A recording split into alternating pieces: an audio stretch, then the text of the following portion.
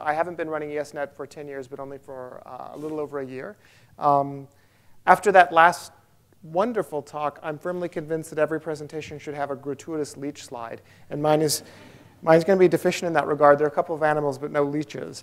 Um, so I'm not a biologist. I'm here to talk about computer networking, and you might be forgiven for immediately wondering why in the world you would care about computer networking.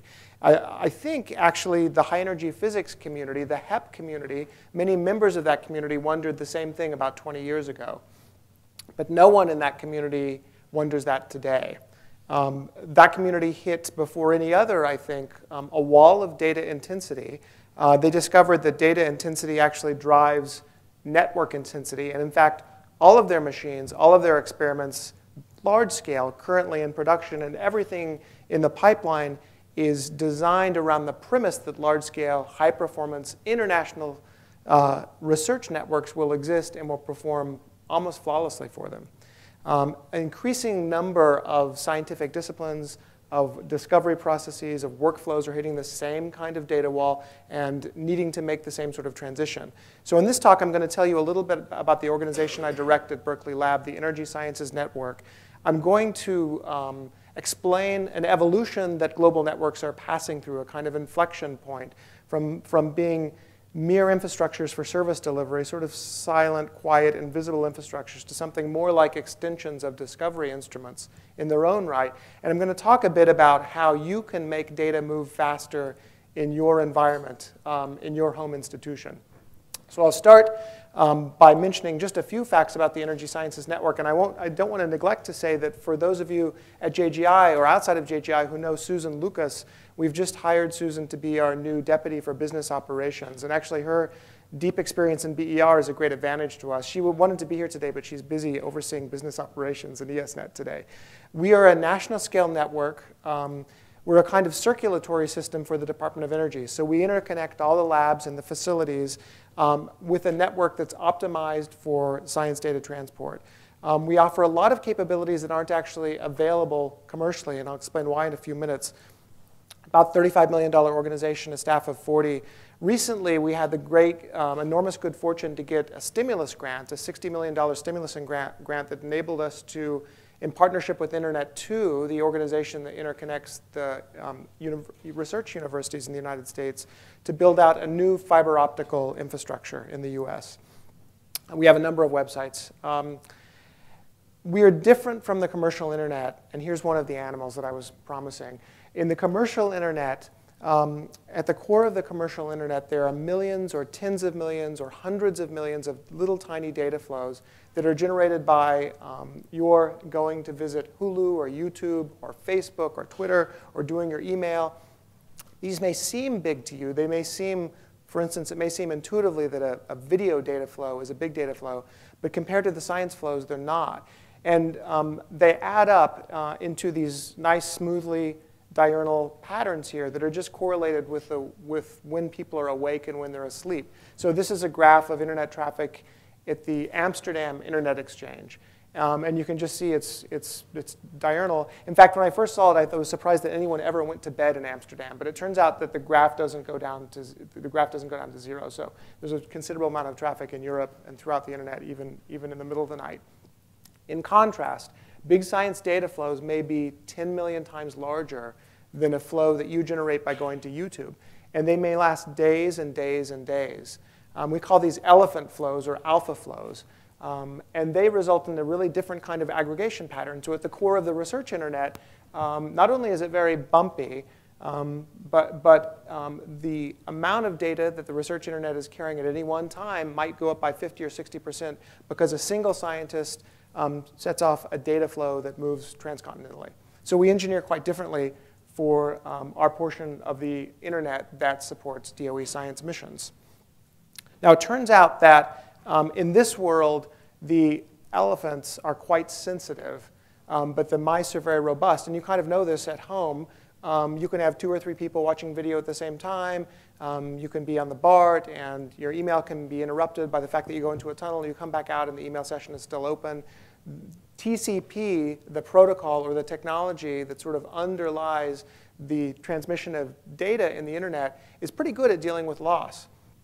But for the elephant flows, um, when, you, when you ramp this um, pattern up to very, very large, long-lived flows with high latencies, and by latency I mean the speed of light latency but between the endpoints, they may be maybe a flow from, say, the Bay Area to Geneva, um, the elephants are extraordinarily sensitive to packet loss. So even a tiny, tiny rate of packet loss, like one packet out of 20 or 30,000, can result in um, you know, sort of a, a, crushing effect on the efficiency of the data flow. Maybe it goes down by a factor of 80, which means that the science network has to be uh, almost flawless to accommodate these flows. It must drop no packets. And we can do that in the internet core, and that's fine when, when we um, design and engineer and deploy ESNet.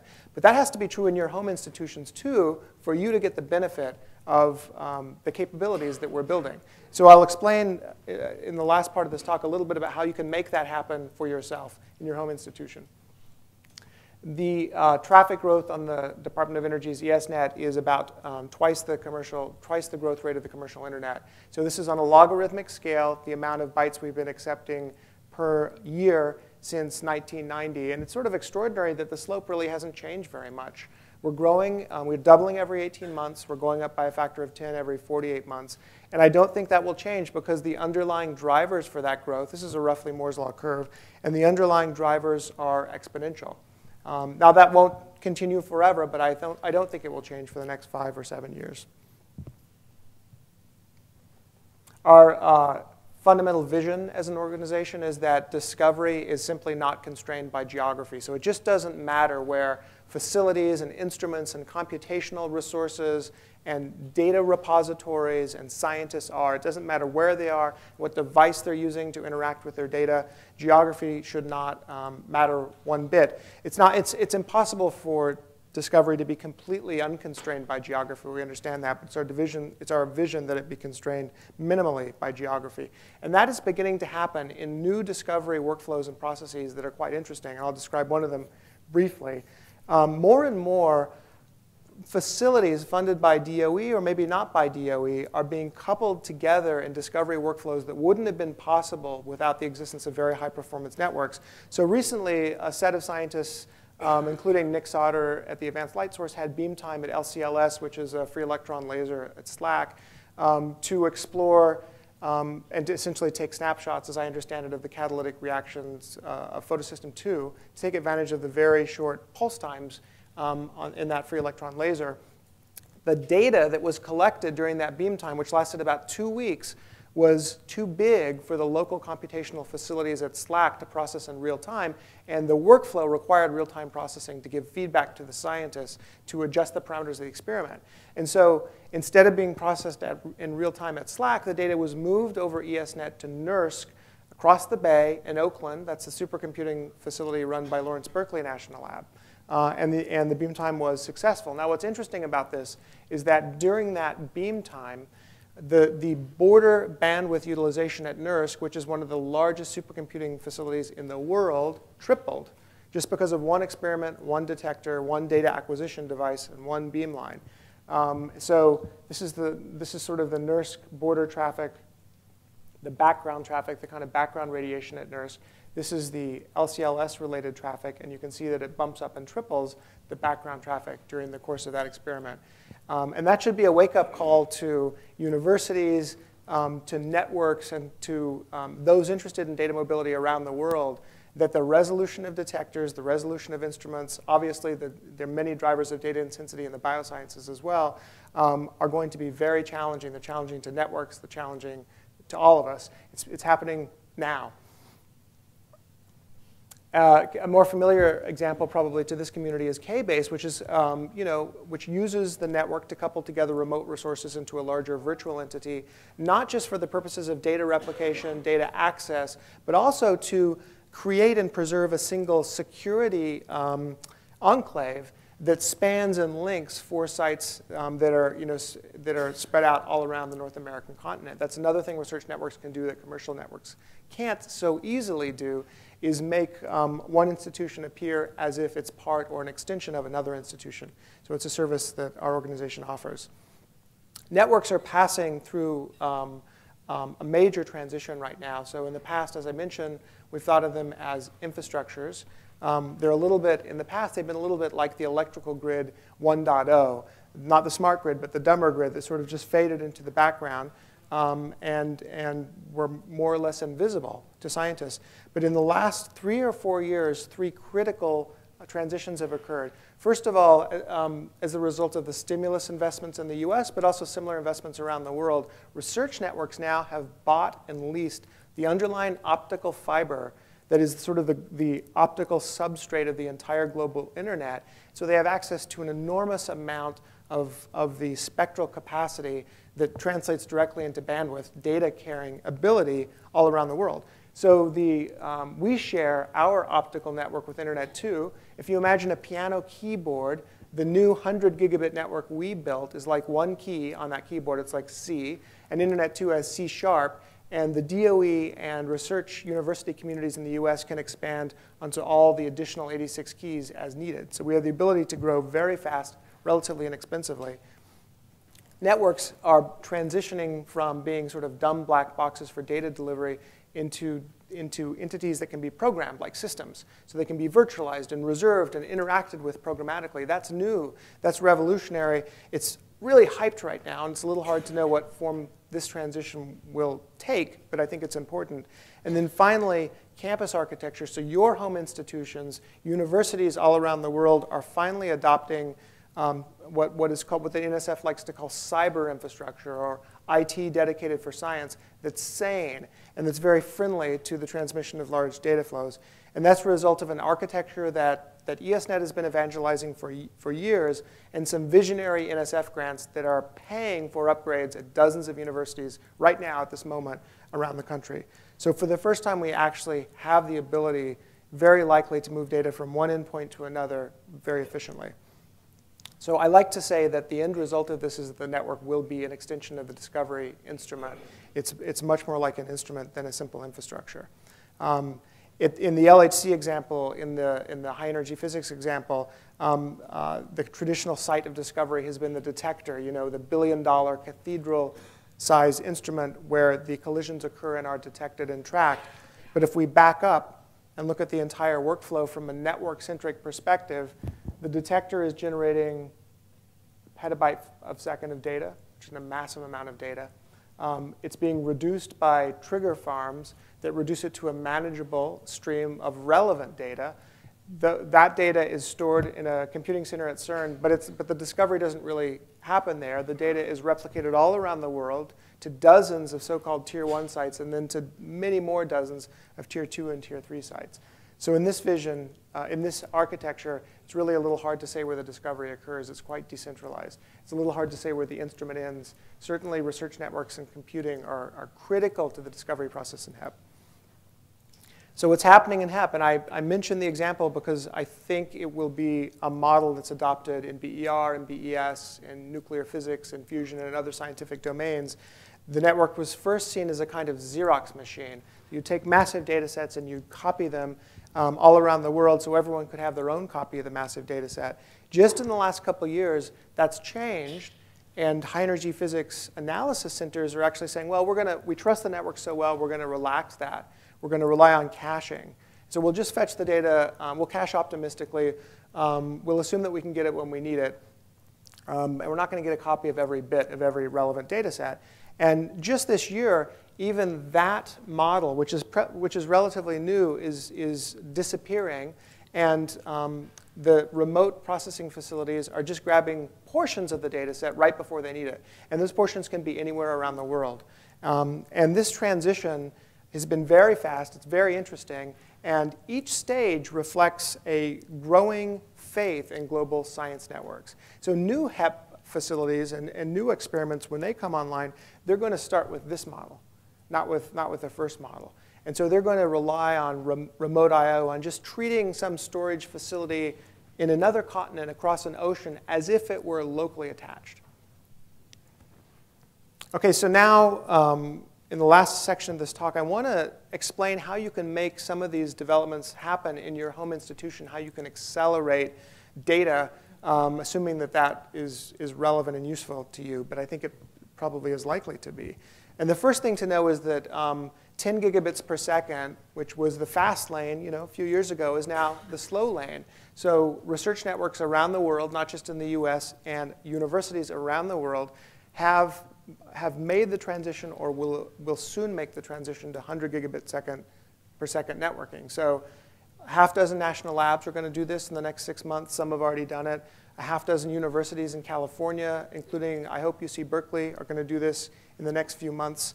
Um, and we're going to start even thinking about multiples of 100 gigabit links. So when NERSC, the supercomputing center managed by LBNL, moves from its current site in Oakland up to a new building under construction at LBNL, we're going to link those two facilities with five, roughly 500 gigabits per second of connectivity, precisely for the, for the reason I mentioned in that third model.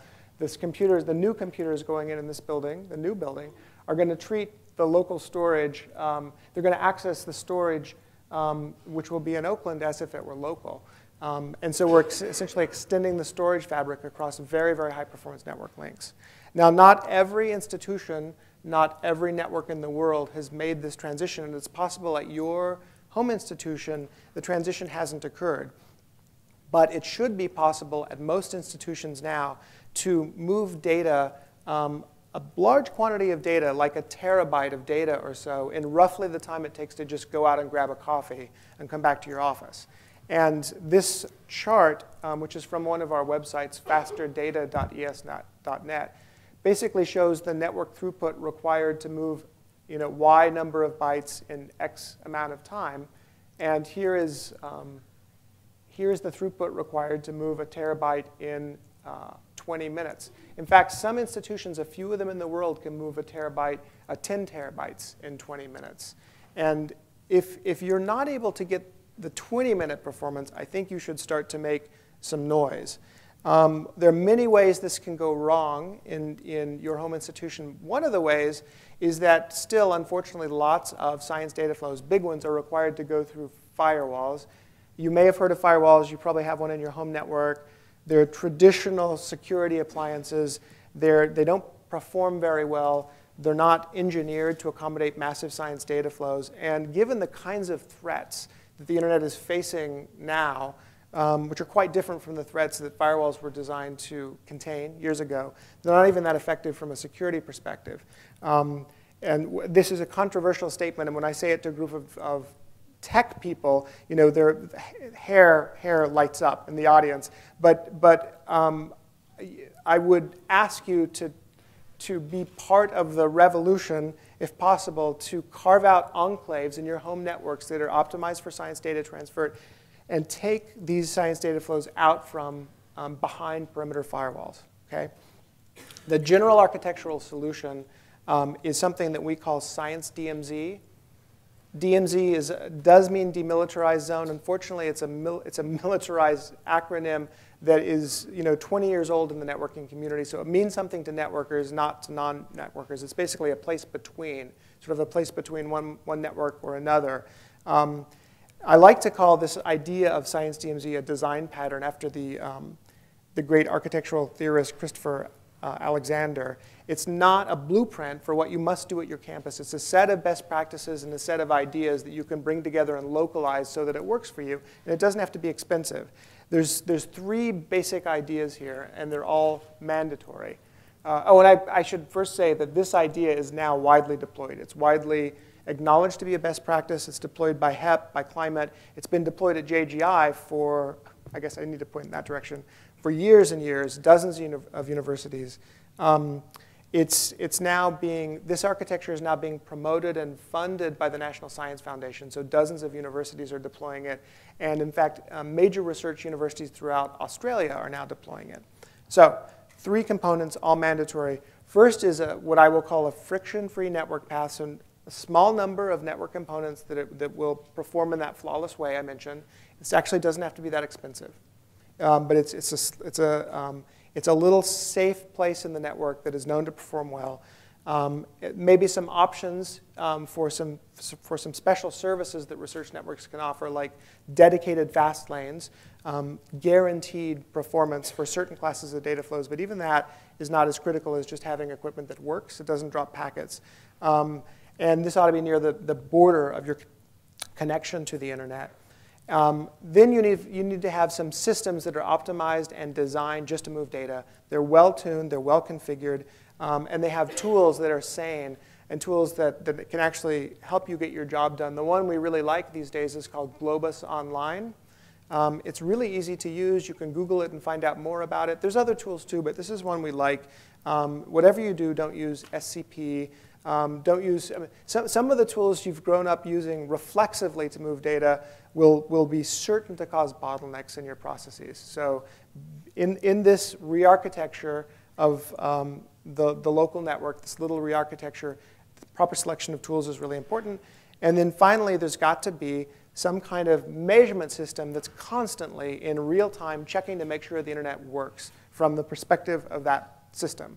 It's, it's incredibly important for forensics, for debugging, and for just assuring that the performance that you need um, is something you can get. We have a website devoted to um, describing this architecture. You can point your IT staff, your CIO, to, it's called fasterdata.es.net. Here's just a little cartoon depiction of the Science DMZ. I'm not even going to really try to explain this, but I think the important point is there's just a few components. It's not that complicated. It doesn't have to be that expensive. I, I do want to mention before closing something about these perfSONAR boxes. These are the performance systems I said that help you assure that the internet is working for science data flows all the time. Um, it's been a long, hard battle, but we've been involved in evangelizing this idea and many networks and universities around the world are now deploying these. There's about a thousand deployed around the world. So it's very likely that if you have a workflow that requires you to get data from point A to point B, and you're in point B, point A, or at least some important places along the path, have deployed these perfSONAR nodes. And if they've done that, you can actually build, or we can build for you, a little web-based grid that shows how internet data um, mobility, how, well, let's say it shows what the weather in the internet is like at any moment in time. Okay, because these devices are constantly talking to each other and performing tests. And I, um, this one is sort of an ESNet centric grid, and I think it's got JGI on it, I noticed. And JGI is all green. Green means that we can definitely move more than a gigabit per second in real time, and it's only yellow unidirectionally with General Atomics, which is a fusion facility in San Diego that's having a little trouble at the moment. So if you have a dashboard like this for a workflow that matters to you, you can call it up and just see um, how things are doing. If things don't appear to be correct, you can point your IT staff or whoever is charged with taking care of this directly at the dashboard. And those people are going to be interested in this tool as well because it allows them to quickly debug and identify problems. Um, you know, simple, simple things um, like uh, the failure of a, of a, little component, an optical component connecting to uh, a network router or switch can cause a big degradation in data flow. And this tool, the perfSONAR tool, part of the Science DMZ architecture, can help your staff detect that and fix it in real time so you don't even have to, or fix it proactively so you don't even have to bug them about it. So I'm, I'm one more slide. Um, the, the important point here, the take-home point, is that the science DMZ architecture is really critical, really critical. And, and you can um, help get a change initiated on your home campus, I think, uh, by um, directing the relevant folks to the Faster Data website, um, where we explain Science DMZ. When the inevitable security questions arise, you can direct them to a lot of material we have on the web that that helps explain um, what the objective here is and what the alternatives and security controls that we propose are. Um, and if you're interested, if you work for a US university, you might be interested in getting NSF funds to pay for this kind of upgrade. Um, and this is a link to the, um, to the FOA that will fund that work. And unfortunately, the, grant, the grants that I think this points to is due next week. So it's a little too late to get into this round, but there, I'm sure there will be successive rounds of funding for this so that lots and lots of not just dozens, but hundreds of US campuses can um, enjoy the benefits of this architecture.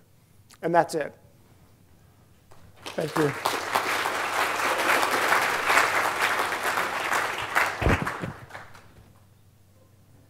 Any questions? I need you to come over tonight and fix my house up ah, going on vacation.